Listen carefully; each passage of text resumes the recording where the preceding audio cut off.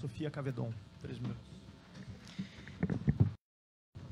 Então, acho que se tem uma conquista linda da universidade é que há uma unanimidade dos partidos políticos, das bancadas federais, da bancada das bancadas federais do Estado do Rio Grande do Sul, que essa universidade não só nasceu da demanda popular, da votação popular, das grandes assembleias populares pelo Estado do Rio Grande do Sul afora, foi votada nessa Assembleia Legislativa, mas conquistou depois disso o coração e a mente dos gaúchos e das gaúchas.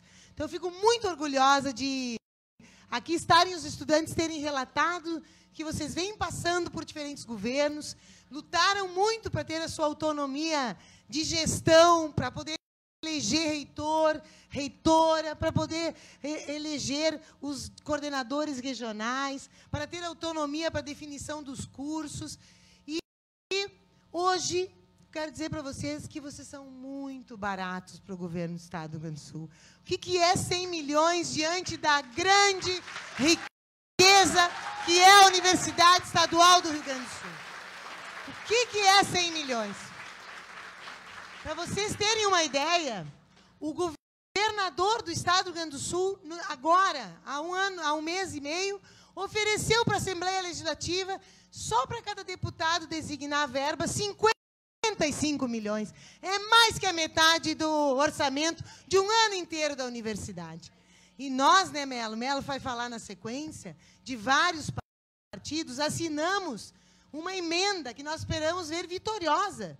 Porque achamos um absurdo que o governo do Estado separe 55 milhões para que os deputados coloquem em suas emendas, quando ele deixa de pagar dignamente os professores, quando ele não honra a necessidade de nomeação de professores e funcionários da Universidade Estadual do Rio Grande do Sul. Vou repetir, gente. O governador tem que entender e aqui está representado, Henrique, tu representas o governo do Estado. Ele tem que entender que nós estamos tratando de uma universidade estadual do Rio Grande do Sul.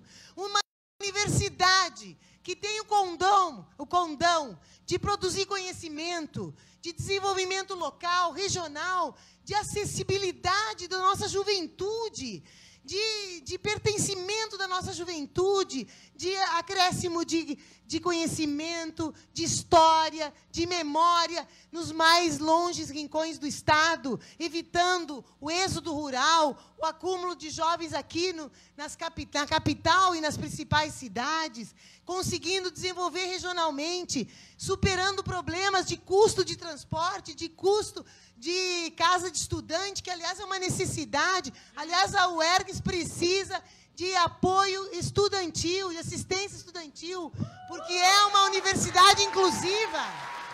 É uma universidade inclusiva.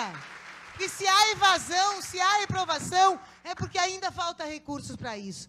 Então é inaceitável que o governador diga que dá para dar 55 milhões para. Não, não quero dizer que os deputados não acertem, mas para uma fragmentação de encaminhamento. Então está fechando meu tempo e eu quero dizer que falta vontade política.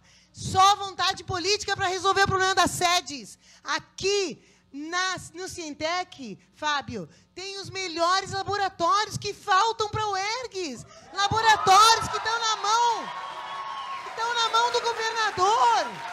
Por favor, governador.